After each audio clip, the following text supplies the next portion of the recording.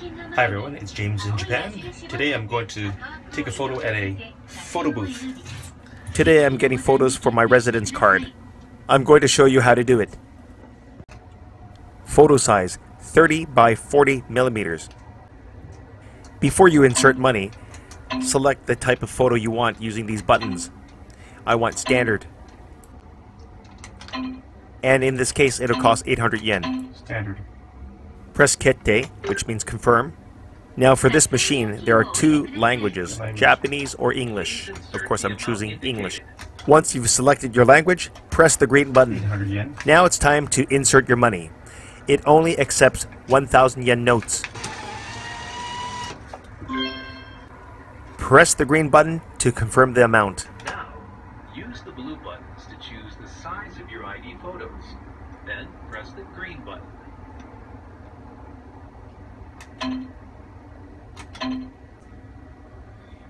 Residence card.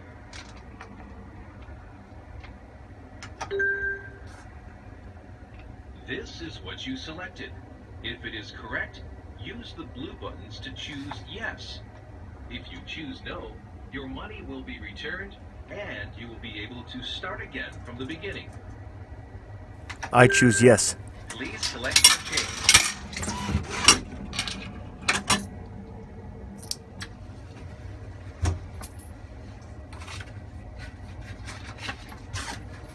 Please read the instructions carefully Before taking photo, adjust seat height to center head in red circle.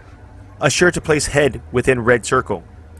Close the curtain. Photo will be taken three times. Okay? Check. With the curtain, okay. Okay, press OK.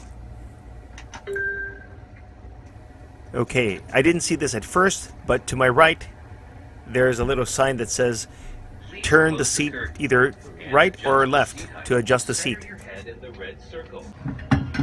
Spin the seat left to raise the seat. Spin it right to lower the seat. Spin this. You gotta spin this to the right to lower it. Okay.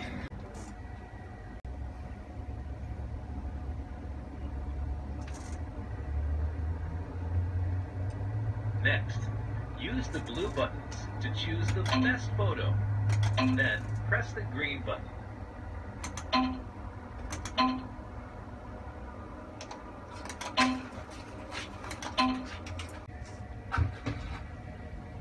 Please wait.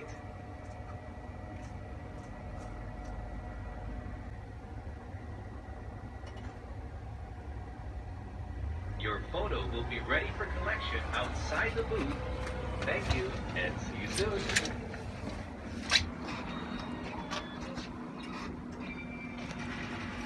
Don't forget to shut the curtain.